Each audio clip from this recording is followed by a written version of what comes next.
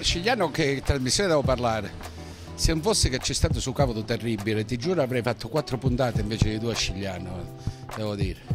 Perché abbiamo trovato persone, persone che ci hanno davvero riservato un'accoglienza particolare.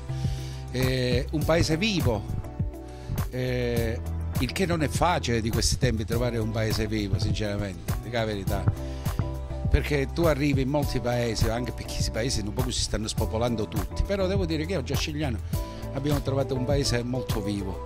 E ci hanno fatto incontrare delle persone straordinarie, gli anziani che noi andiamo ad intervistare perché eh, avendo come scopo principale quello della rivalutazione, di far conoscere i dialetti delle nostre cinque province, ci hanno fatto eh, intervistare delle persone, delle persone anziane davvero spettacolari, dire poco.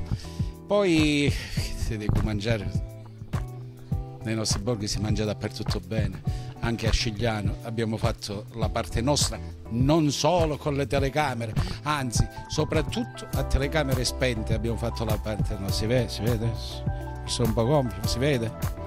Si vede? Eh, vabbè, facciamo, facciamo finta di niente. E quindi niente, siamo venuti a conoscere il dialetto di Scigliano. E devo ringraziare il sindaco Raffaele Pane.